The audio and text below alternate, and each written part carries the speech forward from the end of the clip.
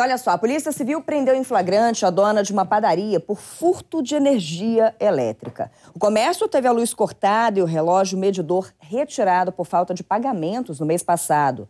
As dívidas chegam a 250 mil reais. Mesmo assim, fiscais da Neoenergia flagraram nesta semana padaria em pleno funcionamento e registraram uma ocorrência na Polícia Civil.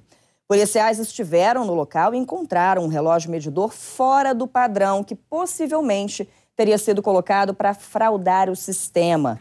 Dessa forma, o estabelecimento foi interditado e a dona da padaria, de 38 anos, foi presa. Ela não tem antecedentes criminais.